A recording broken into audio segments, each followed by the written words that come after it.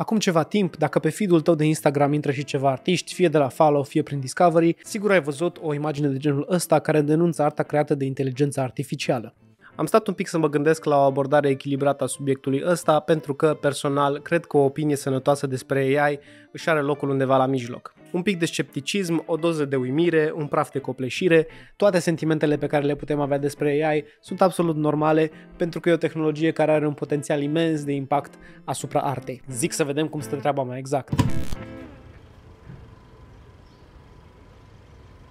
În linii mari, un text image generator preia cuvinte cheie oferite de tine, fie sub formă de idei, descrieri sau fraze mai complexe și îți înapoiază o imagine care cuprinde ideile formulate. Nu numai că în momentul de față sunt atât de multe generatoare încât nu ne-ar ajunge 10 minute să le enumerăm pe toate, dar pentru fiecare dintre ele există zeci, sute de mii, dacă nu milioane de utilizatori care generează imagini în mod constant. Ca și exemplu, serverul de Discord al AI-ului Midjourney a doborât în 2022 recordul pentru cel mai populat server de pe platformă, forțând echipa Discordului să crească limita maximă de membri activi pe un server. În momentul de față, serverul Midjourney are peste 9 milioane de utilizatori activi. Pe lângă Midjourney regăsim Stable Diffusion, DALI, Deep Dream, Night Cafe sau Jasper, care sunt printre cele mai populare inteligențe artificiale în momentul de față. Chiar și DeviantArt și ArtStation, site-uri de artă bine stabilite, au anunțat, cel puțin la un moment dat, dezvoltarea propriului lor AI. Scopul anumitor AI-uri este să reproducă imagini cât mai realiste,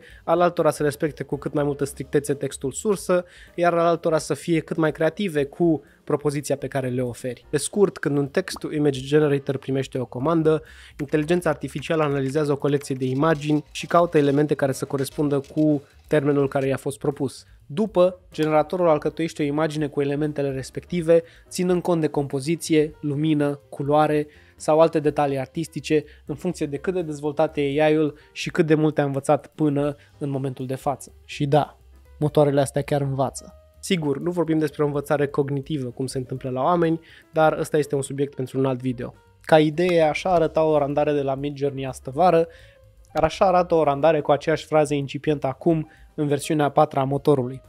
Nu poate fi negat faptul că o astfel de performanță tehnologică e impresionantă, ai senzația că ești ceva warlock de level 50 când bagi trei cuvinte într-un chat și negura infernului îți răspunde cu o imagine pe care o aveai mai mult sau mai puțin în minte. O mare parte din controversă în tot procesul ăsta are legătură cu modul în care aceste generatoare își obțin inspirația pentru imaginile pe care le generează.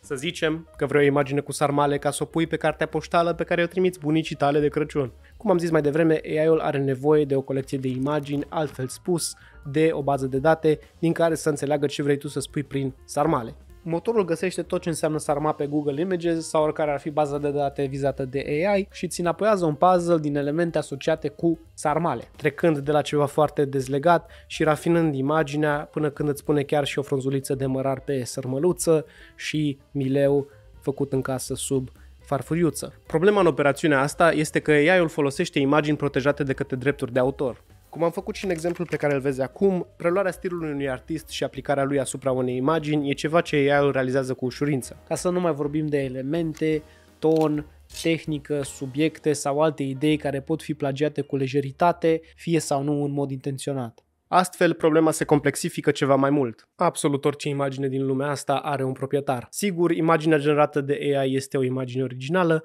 dar elementele pe care ea se bazează sunt preluate din alte surse. Pe tema asta, Corridor Crew numai ce a scos un video care analizează aspectele legale în jurul acestei probleme. O altă parte a controversei este că AI-ul ar fura joburile artiștilor. Sigur, chiar dacă AI-ul de astăzi nu e chiar așa de bun, o certitudine este faptul că, la un moment dat în viitor, nu vom mai putea distinge cu ochiul liber imaginile realizate de om față de cele generate de AI. Deci ce putem face ca să ne asigurăm că nu există plagiat prin AI? Există o lume în care generatoarele de imagine AI pot fi folosite în scopuri educaționale sau inspiraționale până să se ajungă la abuz. Va mai conta inputul uman într-o lume în care AI-ul va ajunge la un nivel la care este imperceptibil? Propun mai multe abordări pe care le-am considerat eu și niște idei care ar putea limpezi situația. Părerea mea principală, cel puțin în circunstanțele actuale, este că generatoarele de imagine au un potențial imens de pozitiv în ceea ce privește educația artistică, conceptualizarea rapidă a ideilor, invocarea referințelor sau generarea de elemente de background dintr-o lucrare mai largă. În consecință, din punctul meu de vedere, să te declare autor asupra unei imagini generate de AI la care tu nu ai contribuit cu nimic, mi se pare greșit. Primul lucru și cel mai puțin radical ca să ne asigurăm că asta nu se întâmplă ține de educație și de cultură artistică. Informația legată de AI și de procesul generării unei imagini ar trebui să fie accesibilă și la îndemână. Astfel, oamenii vor dezvolta un scepticism sănătos față de AI care îi va ajuta să navigheze subiectul într-un mod etic. Știu, am zis cuvântul cu E, ajungem și acolo.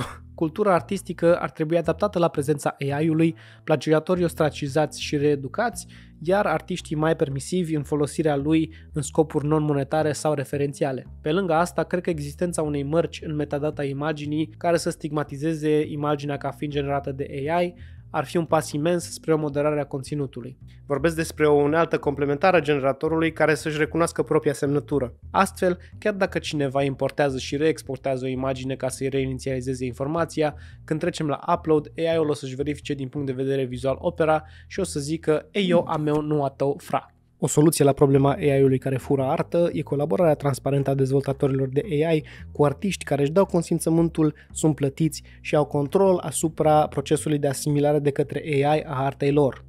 Revenind la etica artistică despre care vorbeam mai devreme, dacă ignorăm argumentul etic, toate aceste premize pică. Nu mai avem de ce să căutăm moduri de a diferenția AI-ul și oamenii, pentru că tot ceea ce contează este rezultatul final. Iar dacă AI-ul poate ajunge acolo mai ieftin, cine ar alege să angajeze un artist real pe bani mai mulți? Asta e un argument pe care mi l-a servit un concetățean pe Twitch cu un foarte modest lmao. By the way, hai cu un follow pe twitch.tv slash să vorbim acolo. Deși am fost inițial luat prin surprindere de nivelul de ignoranță de care a dat dovadă omul de pe internet, mi-am amintit cum am tratat artiștii digitali acum 20 de ani de zile, noi ca societate. Când CGI-ul și tabletele grafice au fost democratizate la scară largă, oamenii se temeau, ca și acum, că arta tradițională va fi derizorie. Cine mea ar mai învăța să dea cu pensula când se poate desena cu mouse-ul? Ești prost. Ce firmă ar angaja pictor când există Photoshop? LMAO, LMAO, bro. Când vorbesc de etică, nu este vorba de etica morală, pur filosofică. În lumea artistică, etica de lucru are o foarte mare valoare monetară. Este foarte posibil ca într-o lume în care AI-ul este o prezență majoră, oamenii să ceară, chiar pe bani foarte mulți, artă digitală veritabilă făcută de om. Pentru că ei știu că arta respectivă, fiind branduită ca făcută de om, le va aduce un plus, dacă nu la nivel calitativ, cel puțin la nivel de PR. Este ca și cum ai spune că lumea nu s-ar mai duce niciodată la un restaurant cu mâncare autentică pentru că există McDonald's. După cum ne arată trendul, AI-ul va schimba peisajul artistic prin reorganizarea categoriilor de artă, cel mai probabil propulsând arta digitală făcută de om la un nivel mai mare de prestigiu decât era deja, cum a făcut și ea la rândul ei pentru arta tradițională. Pe scurt, arta AI va fi artă populară, de duzină, regăsită oriunde, iar meseria de artist în general va fi o meserie mai de elită, ceea ce nu este niciun lucru bun, niciun lucru rău. E ceva ce se întâmplă și s-a întâmplat cu foarte multe meserii de la Revoluția Industrială încoace. Produsele ieftine sunt fabricate în mare parte de roboți, iar produsele de nișă, highbrow, autentice sau mai rafinate, sunt realizate de maestri în domeniul lor, care sunt angajați pe bani mai mulți. Artiștii de concept art sau desenatori amatori vor fi încă necesari pentru modificări sau conceptualizări mai custom decât poate AI-ul să ofere și, din păcate, asta va fi zona care va avea cel mai mult de suferit pentru că nimeni nu va mai vrea să angajeze un artist ca să facă brainstorming. Din cauza asta, artistul ca personalitate publică va avea o foarte mare importanță, pentru că a fi un om cu o față va fi o parte importantă a brandului tău care te deosebește de un AI. Deja trendul social pare să fie AI sceptic din partea producătorilor, dar și a consumatorilor de artă, ceea ce cred eu e un pas în direcția bună și cea pe care aș fi prezis-o. Bineînțeles, astea sunt niște proiecții pe care le fac bazându-mă pe ce informații avem acum și pe ce s-a mai întâmplat în trecut. S-ar putea să nu am deloc dreptate, dar pentru moment sper că mi-am argumentat bine predicțiile, chiar dacă se vor dovedi false. Ideea videoului ăsta a fost să ofer niște opinii pe care nu le-am mai văzut chiar așa de des, astfel încât să purtăm discuții mai sănătoase despre AI, care eventual vor duce lucrurile într-o direcție mai bună pentru toată lumea. În momentul de față, suntem încă în interiorul zonei de impact provocat de apariția AI-ului. E multă haoseală, exercițiu, improvizație și spam. Finalul vremii este a vine curând și, cel mai probabil, apele se vor liniști, lumea își va da seama ce și ce nu e bun legat de tehnologia asta și probabil vor exista soluții mai eficiente și mai automate în identificarea conținutului AI, poate chiar de către același AI. Parafrazând un mare nene de pe internet, cred că AI-ul este cea mai puternică unealtă artistică a timpului nostru. Cum poți tu folosi unealta asta ca să te simți realizat și împlinit ca artist? Care este aportul tău ca om la un tablou în care AI-ul este o prezență majoră? Crezi că AI-ul ar putea ajuta educația artistică? Crezi că ar putea facilita fluxul de lucru sau aduce un impact pozitiv artiștilor? Sau din potrivă, ne va mânca mașina pe toți? Scrie mai jos și în următorul video vă răspunde pe scurt la cele mai interesante idei. Ciao! Ciao. Ciao! Ciao!